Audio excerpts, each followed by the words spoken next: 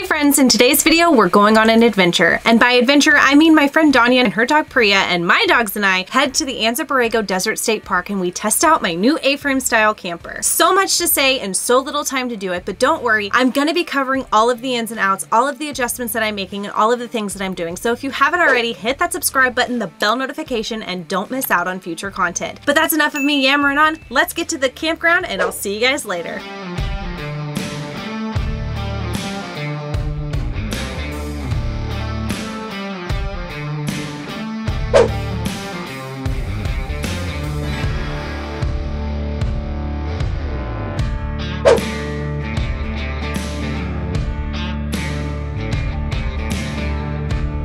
I made my way into the desert with hopes of testing out my new A-Liner style camper. This was the maiden voyage, so I wanted to get a feel for anything that I needed to work on before I leave Southern California. This short trek was the turning point for me learning how to navigate with the trailer, starting to understand the limitations of where I can go with this trailer, and figuring out how everything works.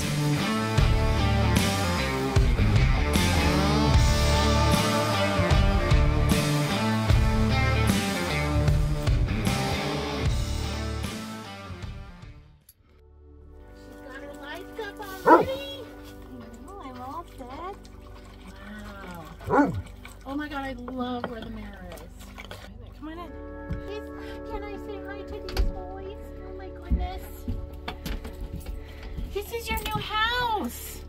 Oh my god, I love it. Hi. Yeah, we happy boys. How cool is that? Woo! I got my drink, I got the chips and meats, and we're gonna have a good time. Hey. What are you barking for? Okay, Danya cheats. It's She okay. uses lighter fluid and Duraflame.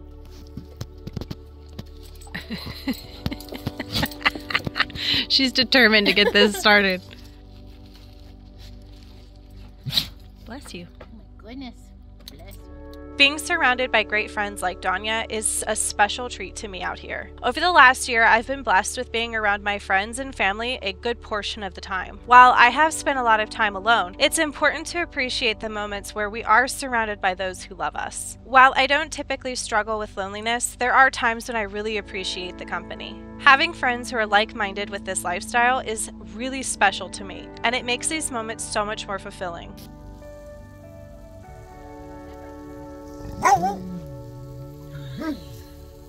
What are we barking at? Guys, this is such a perfect night. Perfect night.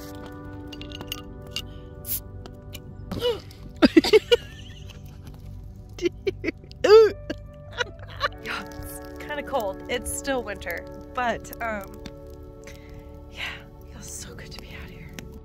Getting this new little home on wheels means so much to me. While I've loved my time living in a 4Runner full time over these last two and a half years, I was ready to spread out and have some more living space. I know there's tons to learn about this new arrangement, but that's part of the fun. It's nice to have a place to separate from the outdoors, and I still have the ability to live out of the 4Runner. So if there's a place I want to go explore, all I have to do is unhook the trailer, and Chalupa and the dogs and I can get back out there.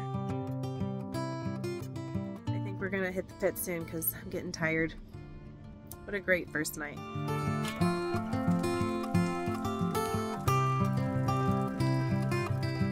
After spending the evening inside the camper, it's hard to remember that for the last two and a half years, I lived in a 4Runner with very little comforts. This camper offers something so much more than a place to live. It offers a sense of peace. For the first time since I've had the truck camper, rain doesn't impact my ability to be comfortable.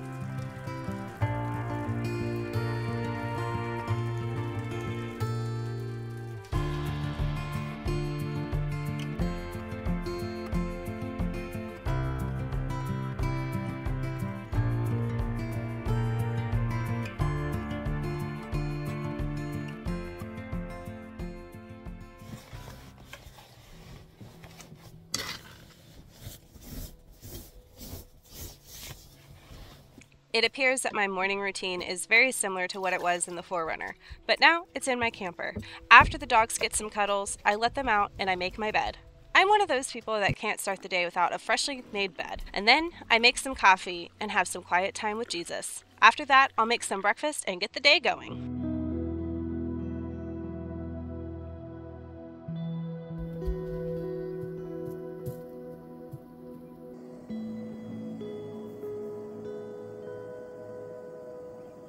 Good morning. It's super rainy and wet and gloomy and damp and cool this morning. It's actually really interesting because the mountains behind us got snow, you guys. It's incredible. And I'm so glad that there's a break in the weather for a few hours so we can get out there and see it and enjoy it, and not be stuck inside. And I will say that it's super nice to have a space like this for when it rains because before I was stuck in the 4Runner or in the Gazelle tent or under the awning and I'm gonna be honest with you guys I'm loving this new setup. You know every setup is gonna have its pros and cons and each person's gonna have their different perspective on what is a pro and what is a con. And you know for me and my family we've decided that this is worth the limitations but I will say that this little guy behind uh, the 4Runner that we're in right now did pretty good on some of these bumpy roads. So I, I don't think it's going to limit us as much as I think it will. I think that there's going to be situations where I'm just going to have to detach the trailer and go off-roading if I want to, but you know, that's okay. I'm, I'm good with that. I'm not in a position where I can afford one of those really cool off-roading campers, so you know, for what's in my means, this is a really awesome opportunity for the dogs and I to enjoy our time on the road a little bit more and add some longevity to this lifestyle because I'm starting to get a little bit burnt out with the space and the dogs with the 4Runner setup with the platform and I'm the kind of person that likes change so I'm good with it. But I'm making some coffee Donnie's getting up making some breakfast and so I'm gonna have some quiet time with my my father my Jesus and uh, and then hopefully it'll clear up a little bit so we can get some really cool photos and video and, and just go explore. Right now the wildflowers are in bloom so we're gonna go driving around to try to find some of those beautiful flowers and yeah see what the day brings.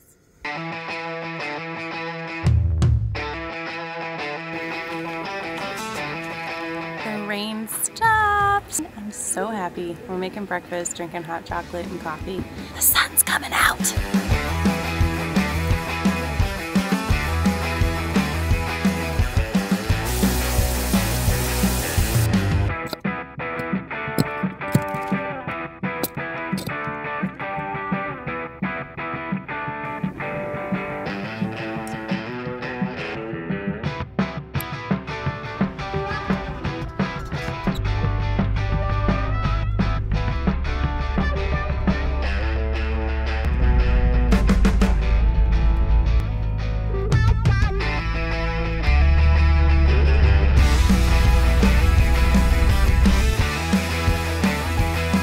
We drove to Coyote Canyon and the flowers are just not very flowery. I feel like either we're too soon, too late, it's not happening, not really sure. The cool thing about this area is if you don't like the weather, just drive 45 minutes in any direction and it will be something different. I wonder where I'll land next.